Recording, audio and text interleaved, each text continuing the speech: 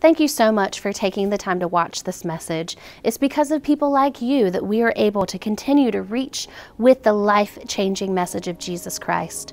If you would like to give to our efforts or to Set Free Missions, visit setfree.cc/give. Feel free to check out other great messages like this one on our website, setfree.cc, our Church Center app, or our Vimeo channel. If there's anything we can do to serve you, please feel free to contact us at 864 269 3620 or at hello at setfree.cc. Again, thank you so much for joining us. Now for the message. Enjoy. Hallelujah. Go with me over to Psalms chapter 63. Y'all sit where you want to. I love you anyway. I do. Psalm 63, Barbara's back on Wednesday nights. Psalm 63, we're going to read this psalm, then we're going to look into the background of it a little bit. Now, I, I, I've had one or two complaints that said that Pastor Caleb and I are teaching too deep on Wednesday nights. Uh, so um, I don't mean to bore you with it being more like a class than, than me exciting you preaching to you, but um, I just I, I, I love to teach and I love to exegete the scriptures, and that's okay. Is that okay? Just exegete deep on down. I, I just, just my mindset is if we don't ever dig deep, how do we learn? How do we learn? How do we learn? And uh, so anyway, Psalms chapter 63. I've had several people I've heard that from, but we love them all. Psalm 63, we're going to read it. David said, O God, thou art my God. Early will I seek thee. My soul thirsteth for thee, my flesh longeth for thee in a dry and a thirsty land where no water is. What am I, what am I longing for? Look what he says. To see your power and your glory, so as I have seen thee in the sanctuary. Because thy loving kindness is better than life, my lips shall praise you. Thus will I bless you while I live. I will lift up my hands in your name. My soul shall be satisfied as with marrow and fatness and my mouth shall praise thee with joyful lips. When I remember thee upon my bed and meditate upon thee in the night watches, because thou hast been my help. Therefore, in the shadow of thy wings will I trust. My soul followeth hard after you. Your right hand upholdeth me. Those are some powerful words. Now, Let's look at when David wrote this, and then we'll come back and, and dissect some of this. David wrote this. Go me over into 1 Samuel chapter 23. David is on the run. And uh, in 1 Samuel chapter 23, of course, Saul is hot after him. And David hears, um, let me see where I want to be. Let me see. I should have marked my beginning place. Verse 1 David hears that the Philistines are attacking and robbing and, and, and vandalizing Keilah. And then they told David, saying, Behold, the Philistines fight against Keilah and they rob the threshing floors. Now remember, David wrote the psalm that we just read during this time, okay? That's what we're talking about. It says, uh, They're robbing the threshing floors. Therefore, David inquired of the Lord, saying, Shall I go and smite the Philistines? And the Lord said unto David, Go and smite the Philistines and save Keilah. David's men said unto him, We be afraid here in Judah. How much more then shall, if we come to Keilah against the armies of the Philistines? They, they was in fear. Then David inquired of the Lord yet again. And the Lord answered him and said, Arise, go to Keilah, for I will deliver the Philistines into your hands. And David and his men went to Keilah and fought with the Philistines and brought away their cattle and smote them with a great slaughter. So David saved the inhabitants of Keilah. He just did a good work. And it came to pass when Abiathar, the son of Ahimelech, fled to David to Keilah that he came down with an ephod in his hand. And it was told Saul that David was come to Keilah. And Saul said, God hath delivered him into my hand, for he is shut in He's entered into a town that has gates and bars. I got him hemmed up. I'm going to get him. And Saul called all the people together to war to go down to Keilah to besiege David and his men. And David knew that Saul secretly practiced mischief against him. And he said unto Abiathar the priest, Bring hither the ephod. Y'all know what the ephod is. I'm not going into that. Then said David, O Lord God of Israel, thy servant hath certainly heard that Saul seeketh to come to Keilah to destroy the city for my sake. And he asked God a question Will the men of Keilah deliver me up into his hand? Will Saul come down? As your servant has heard, O Lord God of Israel, I beseech you, tell your servant. And the Lord said, He will come down. Then David said, Will the men of Keilah deliver me into the hand of Saul? And the Lord said, They will deliver you. Hmm. David, he's trying to help. He heard that the Philistines were robbing Keilah. And he goes in to help. And he asks God, God, shall I go? And in verse 4, God said, Go, I'll deliver him to you.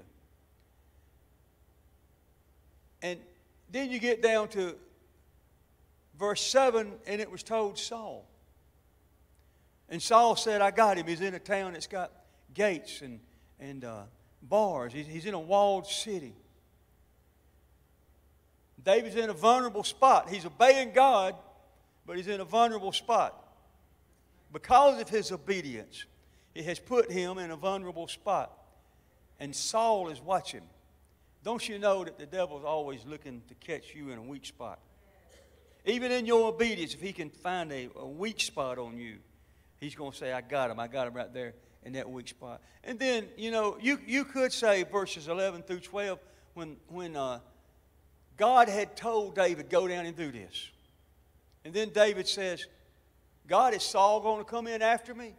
And God said, Yep. Well, God, are these people going to hand me over to him?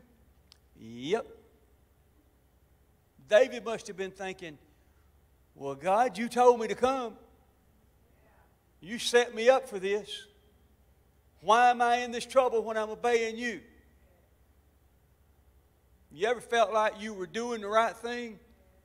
And the more you did the right thing, everything went wrong?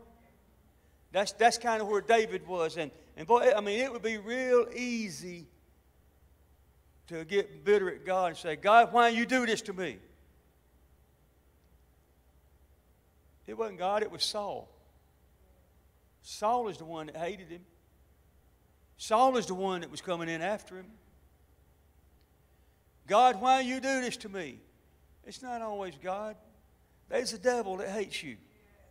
There's a devil that hates you, and he will use every opportunity, even in your obedience, he will use every opportunity to get at you. And, and then, you know, I'm not, you know, here's what, here's what you can never be surprised at. God will, the men of Keilah hand me over, or they going to rat me out. And God said, Yes, sir, they're going to rat you out. Of course, he got up and left, right? But here's what I want you to notice you can be in obedience, and you can be doing the will of God, and trouble come on you, and don't ever be surprised David had done these inhabitants of Keilah a great favor. He saved their city, saved their children. And when it come down to it's either us or them, they ratted him out. Don't ever, don't ever be surprised when the one that you've loved the most, you've helped the most, the one that you've done the most for is the very one that turns on you. And they'll always do it like these inhabitants of Keilah. If, if they hadn't have turned David over, Saul would have came in and, and killed all of them if they was trying to hide him. So they look at this, well, David, you did us a favor, but now it's, it's us or you, so you got to go, buddy. They were going to turn him over, so David gets out of town, and they don't catch him. And then it says here in that chapter, it says that David went up to the mountains. He was hiding. His 600 men scattered. They went in all different directions. And David's got one or two with him, and he goes up and he's hiding. While he's up in the mountain hiding, he writes Psalm 63. Again, put this in perspective. David only did what God told him to do. David did the right thing. He went in and destroyed the enemies of God.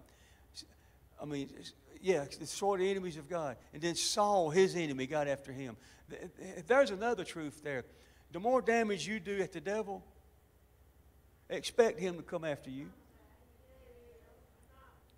Let me say that again. There's a revelation there.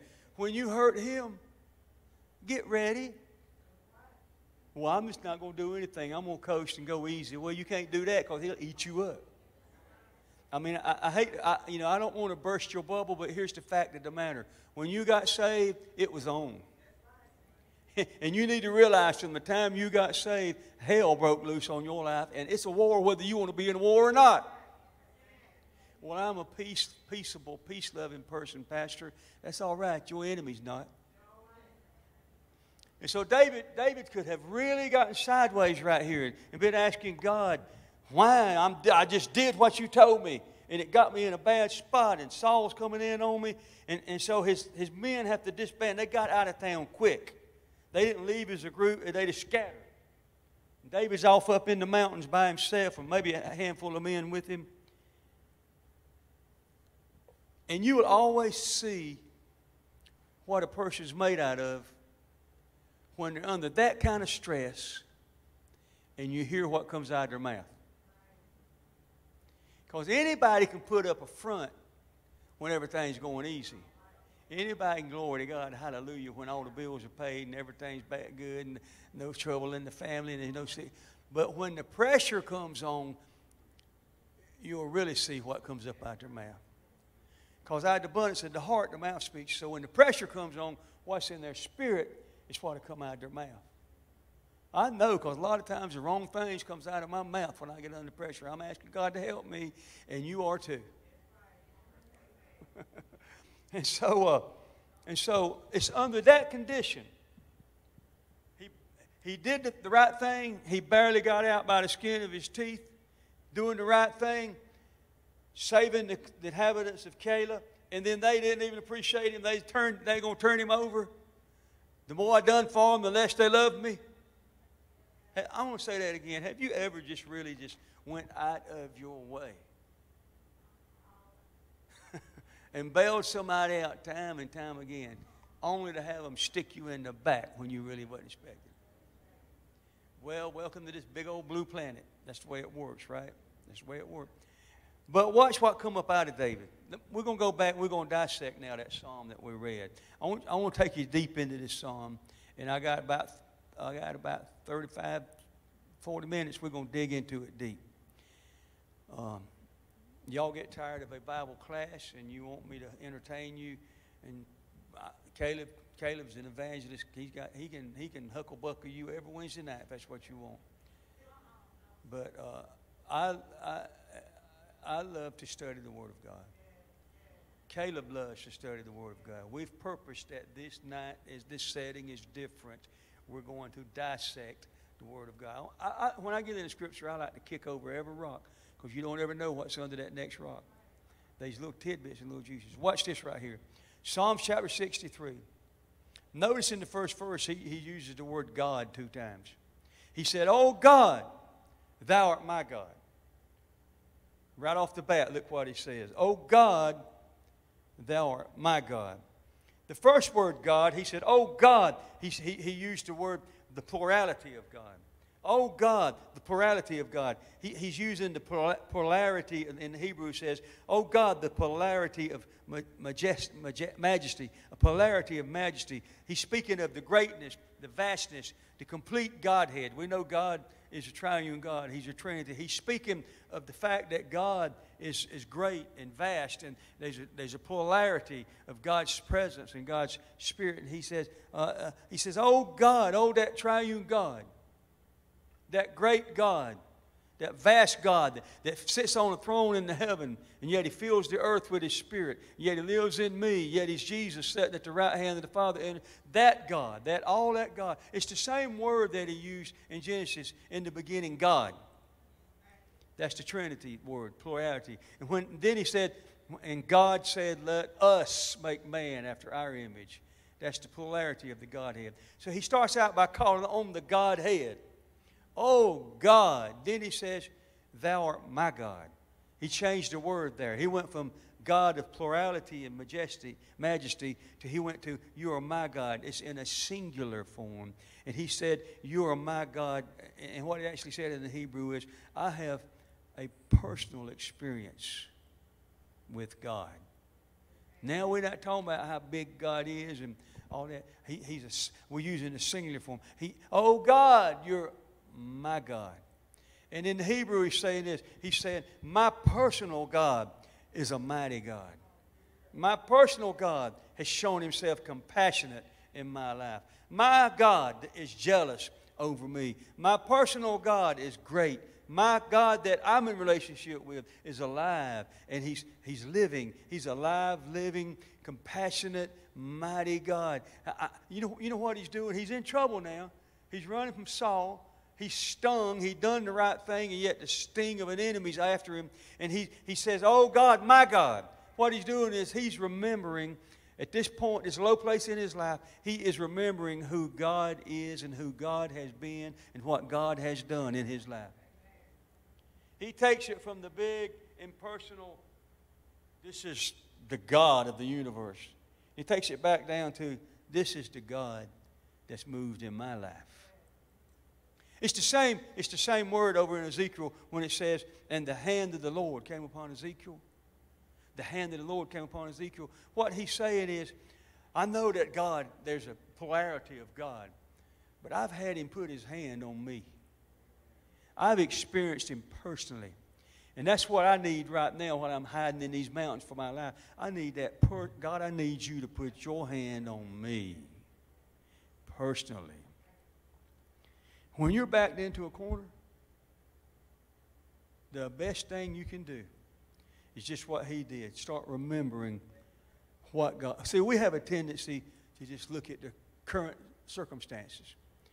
And, you know, God can have done miracle after miracle after miracle for us. And if we're not careful, all we'll focus on is the problem, today's problem.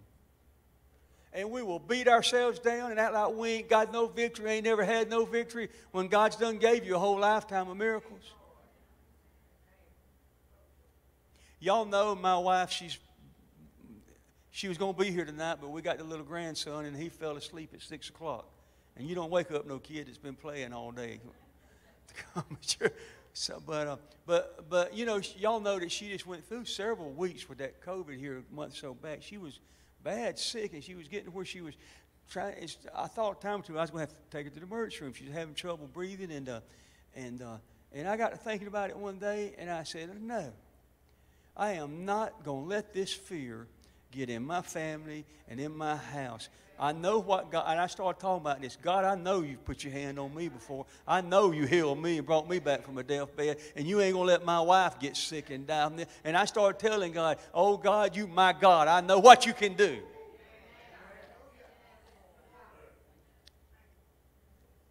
Now, watch this. Look what David says. He says, Oh, God, thou art my God. Early will I seek you. Get your mind straight first time, first part of the day. I told uh, uh, Thomas and I was talking for church. He's making fun of me. I had a cup of coffee. He said, "What number is that today?" And I told him, "Around, around, about my sixth cup of coffee." But, but, uh, but uh, I told him, I said, "Thomas, I can't think of starting out a day in the morning without a Bible and a cup of coffee and a and my back porch and me and G. Early, well, I, I, I don't know about y'all, but if I don't get my mind sanctified first thing in the morning, I'm hell to deal with all day. Can I be honest? I got I got to capture myself in the morning, and, and a Bible and a cup of coffee will do it for Steve. I don't know what it takes for you. The Bible's got to be a part of it. He says, he says, uh, "Oh God, my God, early will I seek you." My soul is thirsty for you, and my flesh is longing for you in a dry and a thirsty land. Look what he says he's longing for. Notice, notice that um, in a thirsty land where no water is, semicolon. Verse 2 is a continu- continuation of the thought. Here's what he's longing for. Y'all, this is wonderful right here. To see your power and your glory. So as I have seen you in the sanctuary, he said, I want to see your power and I'm up here hiding for my life. I'm in a mess. But I remember being in church and I seen your power and I seen your glory. Now, uh, let me take these words apart. Listen to this. Tell me, when I read you these words, power and glory in the Hebrew, tell me that David wasn't in some kind of Pentecostal spirit filled church. You know, uh, say, I don't know, you know, I don't know, I don't know about all that. David is the one when they brought the ark back that danced his clothes off. He danced with all his might, shouted with all his strength. David, that David. David said, I'm in a mess right now, but I am, my flesh wants to see your power and glory like I'm used to seeing it in church. I started preaching on the Holy Ghost last Sunday. I'm going to stay on that subject for a while because I want us to get back to the place to where the anointing of God is ridiculous in this house on Sunday. That's what I want to see. But watch these two words. He said, I, I, I got to see your power and your glory. Watch this. I got to see your power, the power I've seen in the sanctuary. Here's what it means Power means this. Listen, loud, strong, bold force of majestic praise that results in the power being manifested. I'm used to seeing you in church, God, where it's loud and the praise is strong and it's bold and it's forceful and, and it's such a majestic praise that the power of God manifests on the praise that's coming out of people's mouths. That's why the devil don't want us to praise God on Sundays. When praises go up, glory comes down. You got you in your spirit when you praise God, you're producing glory and releasing it. He said, I long to see your power, that loud, strong glory, man, that power manifest in praise. And I long to see your glory. Glory simply means this your honor and your glorious presence in abundance. Give me a church where the glorious presence of God is in abundance. And it uses the word majesty. I mean, have you ever been in a church service where God showed up so strong you could tell you was in the presence of a king? He said, I'm longing for that. God, I'm up here, I'm stuck up here hiding for my life. But if I could just get in church, Pray to God, set free would be the kind of place where people would say, if I can just get over there to church, I'll be all right. I long to, to see you in your power and your glory, as I have seen in the sanctuary. They had no, he didn't, David didn't go to no dead church. No. When David went to church, I think I, I just got a feeling David being there, if they was dead with their praise and worship, he'd stir it up. Yeah. Uh, you know why I love David so much? Go back and study. I'm off my subject, but go back and study uh, Solomon. David said that for Solomon. Go back and study. David created all these instruments of music and had on staff a choir and praise teams and musicians, had, had the whole tribe of Levi, had them on staff. And 24 hours a day, seven days a week, when they went into the temple of God, constantly there was worship and praise and anointing stirred. You couldn't walk into that church house without bumping head on into a seven day already praise service. I wonder what would happen in here if seven days a week worship and praise and honor and majesty was being released. You wouldn't have to walk in here and we wouldn't have to prime this church for 30 minutes to get you to open up. Amen. I have been criticized in the past because I am a musician and, and did that for years. And I've been criticized in the past that my attention seems to be more on the praise and worship than any other ministry. And I try not to be, and I put good people and Pastor Caleb's great at administrating in different ministries. But I'm going to tell you what I have, I, what I, to me personally, I'm going to tell you something. One of the most important ministries in the church is your praise and worship because that's when the anointing of God comes in. And if the anointing of God don't show up, you ain't got nothing anyway.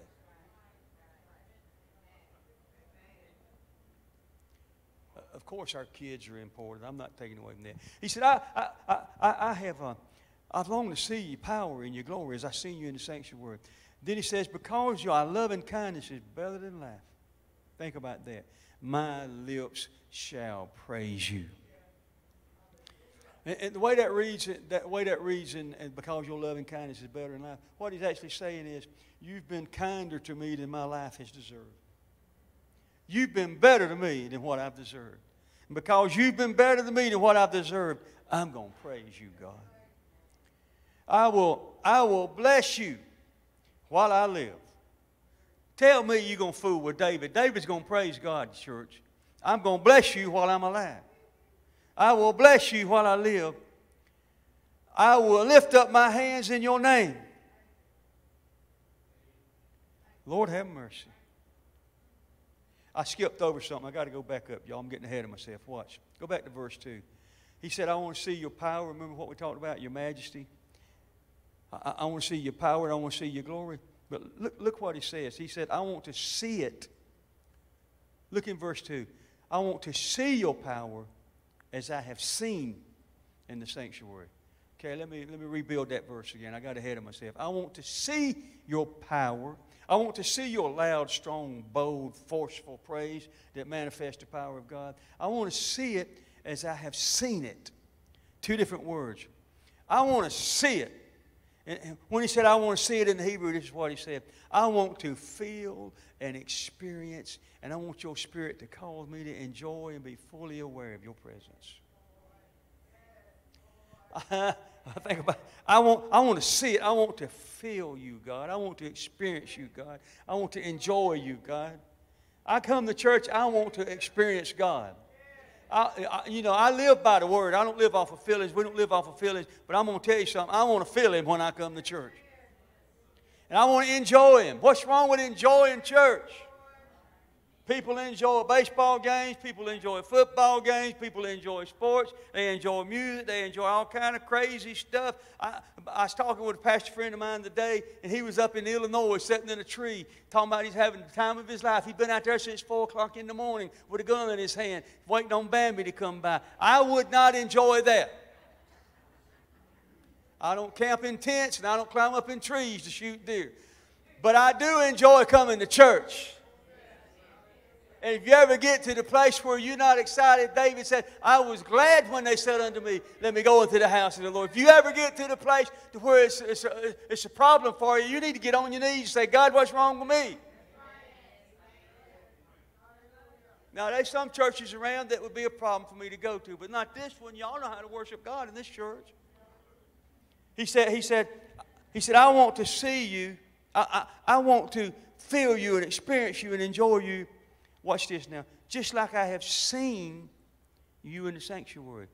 This is a different word. I want to experience you and feel you like I have seen you. Here's what he said In the sanctuary, I've seen you. I have looked. Listen to this. This is so good. This is how our church services ought to be, y'all. This is a pattern for our church services. He said, I've seen you in the sanctuary. I have looked and gazed in amazement at the sight of your divine presence. That ought to excite you. I want to, I want to be in some church services where the anointing is so strong, just like the Hebrew word there says. I want to look and gaze in amazement at the sight of God's divine prayer. I want to see God do some things where we just, we just go, wow.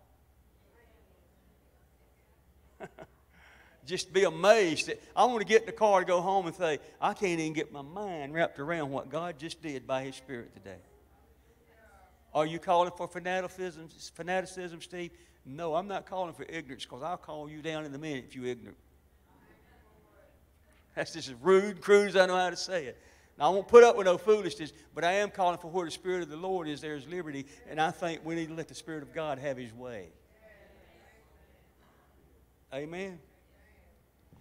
Then he goes on down, he says some things here. He says uh, in verse 4, Thus I'll bless you while I while I live, I'll lift up my hands. You know, that verse 2's got a lot in it, don't? I can't get off that verse 2. Think about what I just taught you. He's talking about, I want to see your power and I want to see your glory. And, and I want to see it. I want to feel it, experience just like I've seen it. I want to be amazed, amazed at it. And then he says, my soul. Now watch, uh, watch verse 5. Verse 5, now he's hiding. He's still, can, can you think about even you hiding from Saul and that's even your, in your heart to have that desire? You hiding from Saul, and all you can think about is, I want to get in God's presence. Shouldn't that be how we are? Shouldn't it just be every day when we got a problem? I just, I, if I can just get in church, if I can just get in God's presence. Have you ever noticed when you come to church, you might have a major problem in your life, in your family, whatever, and you get to church, and the worship starts, and the Spirit of God begins to move, and that problem don't bother you while you're in God's presence. Who's ever noticed that? Yeah. Uh, Elder Therese, you remember Hayes Riddle. I went off with Hayes Riddle one night. He, he had, had surgery on his foot. He could barely step up to the pulpit to preach. And he was preaching, and the Holy Ghost got on that man, and he got to jumping up and down and dancing and running back and forth across the platform. And he preached like that for about 15 minutes, and he realized what he was doing. He looked down at that bandaged foot, and he said, Well, my foot ain't hurting me right now. I had to ride back with him in the car. We got in the car, and he, he always called me Bo. He said, Oh, Bo, my foot's about to kill me. I said, No wonder you're jumping up and down on him while you was preaching. David knew I just got to get in the presence of God. Amen. I got to get in the presence of God. It says, uh, then in verse 5, he said, My soul shall be satisfied. This is an interesting verse, too. My soul shall be satisfied with marrow and fatness. My mouth shall praise you with joyful lips. Let's look at that marrow and fat. Of course, the marrow is the, is the uh, innermost part of your being. Marrow is the little gel stuff that's in your bones that creates the blood cells. If you want to say your, your, your most innermost part is the marrow in your bones. He said, I'm going to be satisfied with marrow. There's a great discretion here, uh, uh, uh, not the word discretion, there's a great dissent here on whether or not he was talking about I'm going to eat the marrow or something else because, you know, Jews wouldn't eat blood, but there's some scriptures that kind of lean toward they would touch it in certain. But I don't even think that's what he's talking about. Go with me just a minute. He said, he said, um, he said, My soul will be satisfied with marrow. Now, he, he's talking about, I just want to get in God's presence. I'm in this great place of warfare in my life, but I, am remembering what it's like to be in church. I'm remembering what it's like for your majesty and your power to show up. And he says, My soul will be satisfied with marrow. Let me tell you what I think he's talking about. Hold your hand right there and go me over to Hebrews chapter 4. Y'all know this verse of Scripture. Hebrews chapter 4 and verse, uh, somewhere in there, let me see. Hebrews chapter 4 and verse 12. Yeah. Watch this. Here's what he's saying. I'm going to get in. Uh, this is so good, y'all. You got to go with me. Just, just stay focused and go with me here just a minute. He said, for the, Paul said, for the word of God is quick and powerful. It's alive sharper than a two edged sword, piercing even to the dividing asunder of the soul and the spirit. The soul and the spirit aren't the same thing if you can divide them separately. He, watch this. Then the Word of God will also divide the joints and the marrow and is a discerner of the intents of the heart. He said, This Word can work on you and cut on you so deep that it can get past your joints and down into the inside of your bones. Jeremiah said, It feels like fire shut up in my bones. The word can get down in the marrow on the inside of you. David said, I want to get in a good Holy Ghost service, God, where they're praising, where your glory is manifest, and I want a good anointed word that's going to get all the way down inside of me, and my soul will be satisfied down to the marrow with that good word. I don't know about you, but I have heard men preach the word of God before and went home, and I was just it like I just had a seven course meal. I was satisfied. All every part of me was satisfied. I was laying down to go to sleep, grinning because that word was so good. If you've never had that experience, you need to press in and get that experience to where that word satisfies you to your innermost being. And I'm going to tell you something. If you're not living that way with the Word of God satisfying you to the deepest part of you, you will eventually get in trouble in your life. Oh, how am I going to get like that, Brother Steve? Take your Bible and read it. It's quick and powerful till it comes alive and jumps up off the page and gets down on the inside of you to where you can't think nothing except that. And watch this now. Go back over to Psalms. David said, I'm back in Psalms. David said, um, David said in 63, he said, My soul shall be satisfied with marrow and fatness. Well, I ain't happy when I'm fat. But watch this. Uh, I'm going to read you a scripture in Psalms 36 and 8.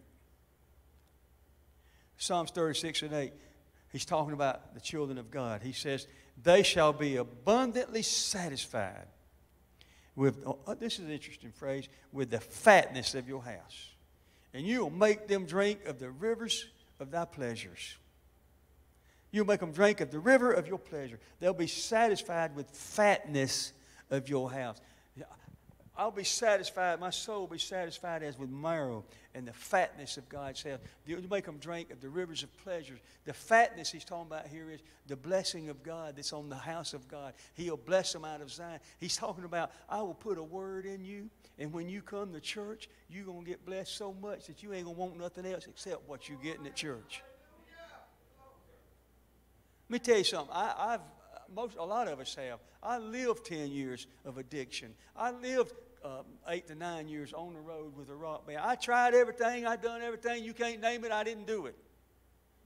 But I'm gonna tell you what I have found out. I wouldn't give up what I got right now down in my bones to go back to get into none of that.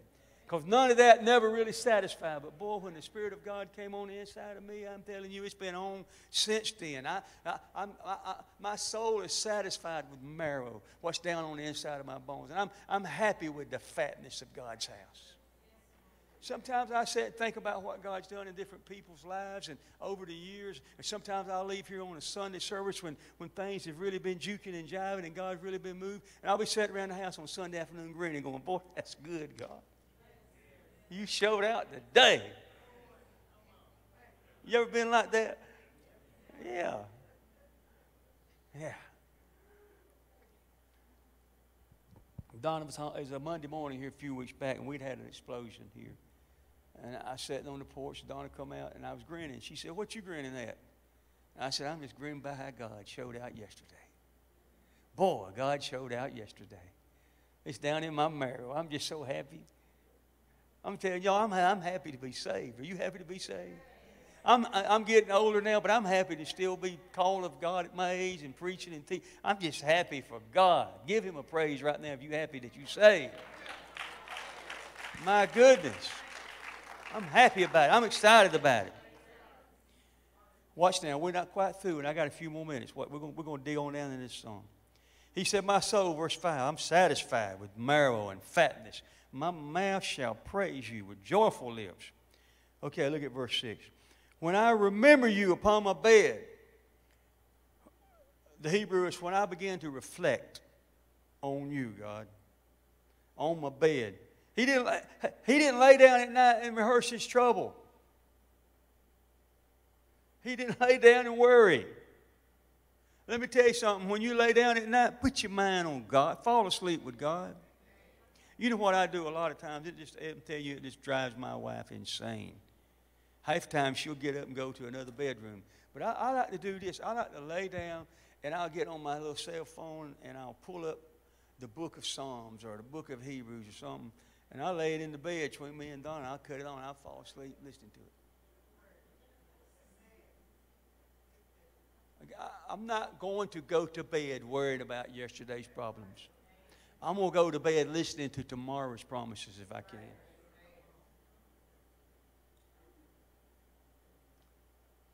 Donna will either get up and leave, or she'll say, Can you turn that down? And I'll say, No, I can't hear it. I'm deaf.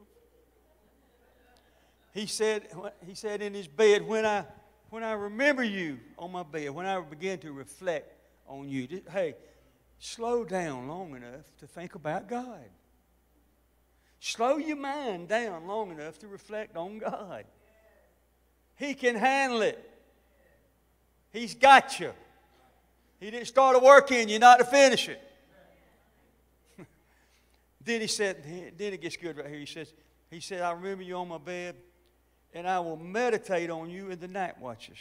I'll meditate on you in the night. Listen, there is a great truth to, to meditation in the Lord. I know there's these goofy religions where they hum and meditate and do all kind of stuff, sit with their legs. If I had to sit the floor with my legs crossed to be saved, I couldn't do it. I told, I told Donna today, we, I was in the back, back porch with the little grandson, and y'all, this sounds off color, but you, everybody has to do this. So I got one foot up on a chair in front of me, and I'm trying to trim my toenails, and Donna walked out and looked at me kind of funny, and I said, at my age, it's hard to get to your feet. Who has trouble getting to your feet nowadays? oh, Lord. mm. I don't know, why, I don't know where that come from. But uh, says, uh, when I remember you on my bed and when I meditate, there's a great truth in meditation in the Lord. Here's what it means in the Hebrew. Listen to me. He says, when I meditate, this, this is something that you learn to do. It doesn't come natural. And you train yourself in this, and you benefit from it. I meditate upon the Lord. It says here in the Hebrew, I, I mutter to myself. I, talk, I, I, mutter to myself. You ever heard anybody mutter and walking around and talking like mutter to myself? He says, I speak or whisper to myself. Why can't we learn to just whisper in our own private time? Just whisper scripture to ourselves. Whisper the scripture. I, I, remember meditate. Well, I need to go on. That's not all the definition. Let me finish this. And it says here, it says here to mutter means to, to, to uh, meditate means to mutter to yourself, whisper to yourself. And then it says to muse. Interesting word, to muse.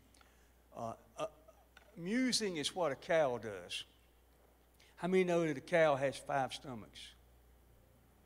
And if you watch a cow, we got one or two across the road from me. We got a cow, we got a horse, we got goats, we got chickens. Not me and Donna, but the lady right in front of my house, there's a field. And so we like to go over and look at the horses and cows and stuff. A cow will muse. Here's what David's saying. Here's what a cow does. A cow eats a big old mouthful of grass, puts it down in his first stomach, comes back up, and he chews and gets some more nutrients from it that he didn't get the first time, goes down into his second stomach, comes back up, and he chews it again and gets the rest. That, that's when you see that cow with that stuff hanging down on his face, you know. And he looks at you in the wind shaking it and all that kind of stuff. He's musing. He takes it down, he comes back up and he chews on.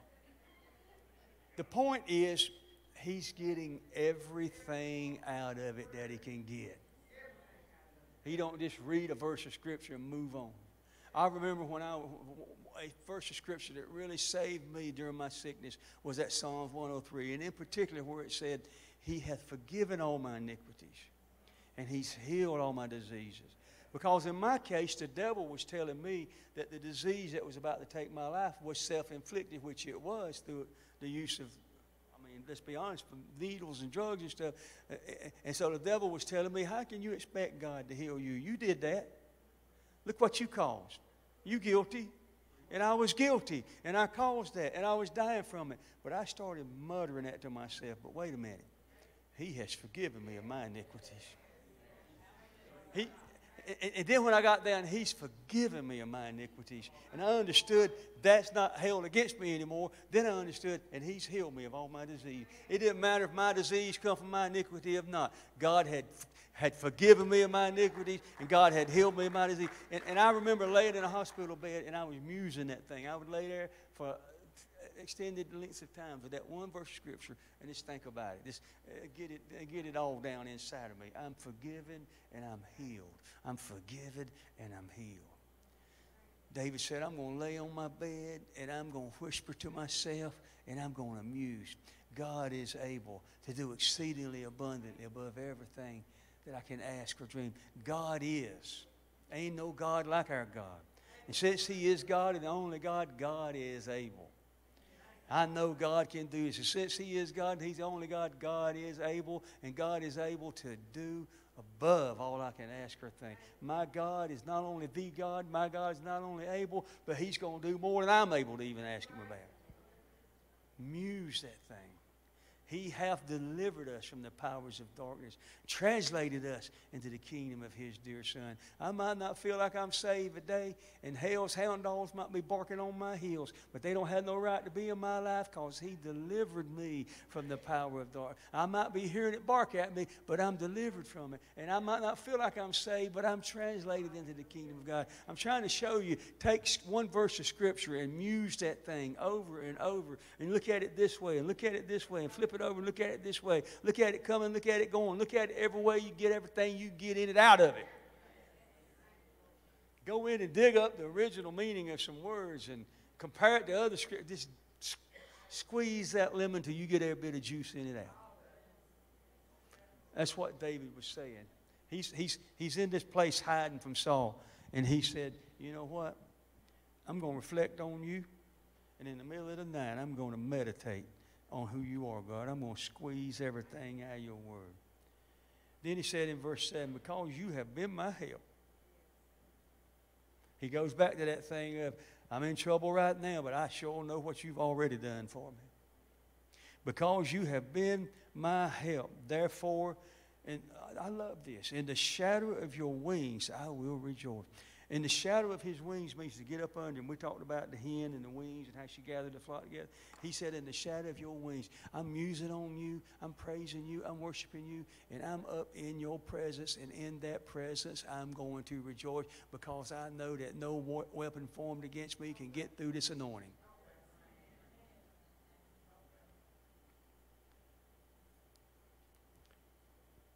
Because you've been my help. Therefore, in the shadow of your wings I will rejoice. Watch this. This last verse is tremendous. I'm going to talk to you about verse 8. So far, we've seen that David said, said I, I want to get, I, I, I remember in church. I remember your power. I remember your majesty. I have felt it, seen it, and experienced it, and I've stood in amazement at it. And I'm meditating on you. I'm reflecting on you. I, am going to praise you. I'm going to get up under your covering. And then he says this my soul followeth hard after you. Of course, that means I'm going to pursue and I'm going to overtake and I'm going to get the victory. But, but listen, listen to this. I found this yesterday. This is, this is one connotation of my soul followeth hard after you. It's, it's, it's the pursuit and the overtaking. It's a word picture of a male lion or a female lion as they hunt down their prey. And have you ever seen on a documentary? This is actually what he's saying. He said, I'm going to do this. This is what I'm going to do. You ever seen on a documentary maybe a lion is overtaking a zebra or something and they're eating it? And there's three or four of them laying on that zebra eating it. And they've got the victory and they've got their spoil. And have you ever noticed that lions make a little weird noise when they're in victory? They'll be on that animal that they've overtaken and they'll just be kind of, it's a real deep roar. You know, what they're saying is we are the king of the jungle and we take what we want. David said, I'm hard after you, God. What he said was in verse 8, after all that stuff about I'm going to muse on you, I'm going to meditate on you, I'm going I, I long to see you. Then he said in verse 8, my soul is going to fall hard after you. He said, I'm ready. I'm ready. I'm like that lion. I got the ability. I'm going to chase down every enemy I have chased down. I'll gnaw it to death. And just like a big old lion, I got a growl of victory on the inside of me. Praise God. We need to get back to the place. Instead of running from a devil, we live with a growl of victory on the inside of us. Hey! A growl of victory on the inside of us. That's who we need to be. Amen. That's my story. I'm sticking to it. And that's the story behind the song tonight. David had some good stuff, didn't he? Hey, you know, totally off subject. Have y'all seen? I, I get.